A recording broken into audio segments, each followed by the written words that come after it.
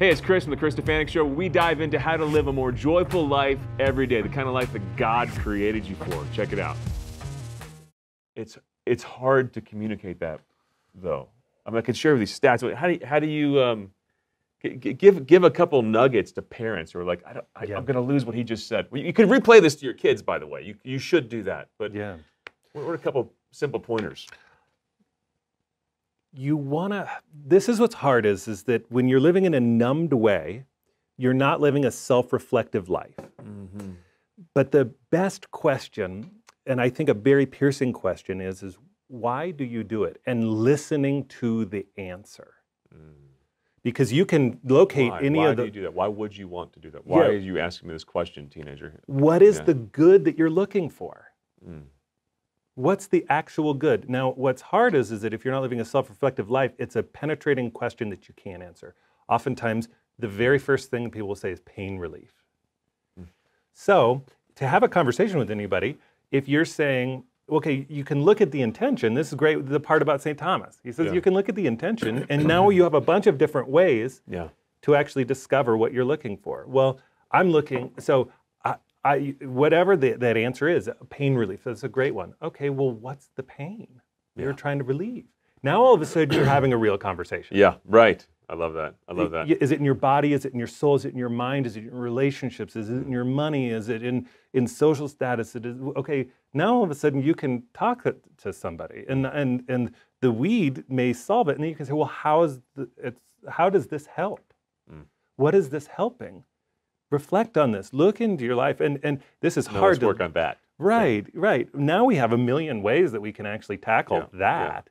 I, we got a great question. Is, is pot in moderation okay, like alcohol? And I knew that one was going to come in.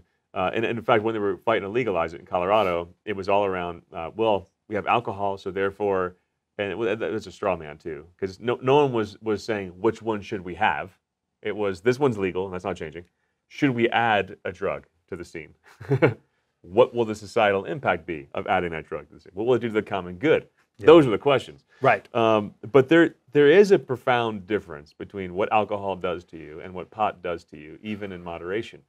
Uh, and that's the first this is the this is you cannot fall into this trap to have the conversation okay hey well then why do you get to have a glass of wine and i can't have just a puff on a joint right. and i'm like What's the difference? why can't i take oxycontin and you take tylenol why can't i or, or why can't i shoot heroin and you can drink coffee? Yeah. let's actually no let's actually deal with things in and of themselves. Okay well what is the effect of cbd and thc and cbn and all of the, the, the cannabinoids that are existing within this? And let's look at their effects. We can look at things in themselves. If we're actually having a serious discussion then what is the real effect of an actual drug on a person not a metaphorical behavior? Mm. This and, and so when, as soon as somebody Another says subjective experience of, right dude, it doesn't really do anything to me. Okay. Well, actually, Right. it does. Yeah, I just use it to go to sleep. That's another Yeah. huge one. So, so if we're going to have a conversation, then let's actually look at things actually. Let's let's Yeah. let's be people who can talk about okay, well, what is the uh, THC? What's its real effect on the person? What does this do? And let's talk about that. The, the word psychotropic helps me describe Yes. this to people. Yes. You know, we, uh, and al- alcohol is a depressant. Right. So it can relax you in, in the right quantity, Right. lubricate a conversation, make your, literally can be healthy, can make your steak taste better. And a, a psychotropic removes you from reality, which is what alcohol does at the end of the road, which is at the, when you cross that line, it becomes gravely sinful. Yes. And it, pot, by its nature, does that immediately, In the in, in the subtle in- ways. Right. In the intention of the person. Right. Yeah. You, don't smoke a joint not to get high. Yeah. That's right. one puff, you say, I say light high. Okay, let's get light high. That's still an intention for intoxication. So you, so, um, Let's lightly alter my entire experience of reality, just a little bit. right, I- Not just relax me. right. I'm not going to be in touch with the thing. So that's it's Yeah. like okay. Which this is the this is the hard part. Is I actually think that the effects of marijuana in the person are very similar to the effects of masturbation.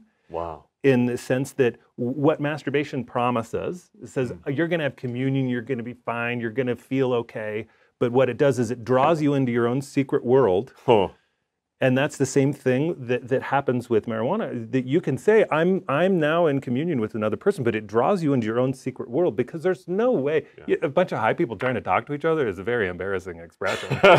Dude, man, that was Yeah. fresh, man. Yeah. You're like, you're like, we, Yeah. we, we have cultural humor to drop you on it because it's like, what? Because it's the, and the humor's rooted in real experience, you know, and, and you, I mean, again, as far as the the uh, the depressant, this helps me relax and focus on my steak. Frankly, it opens me up to reality a little more if I had just a little bit.